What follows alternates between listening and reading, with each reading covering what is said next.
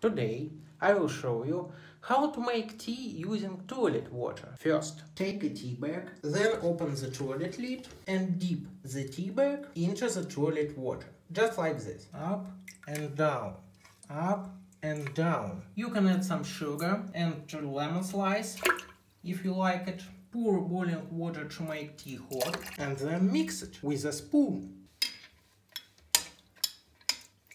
It's a really good life hack, especially if you want to have some tea time with your friends. Okay, I think it's quite enough.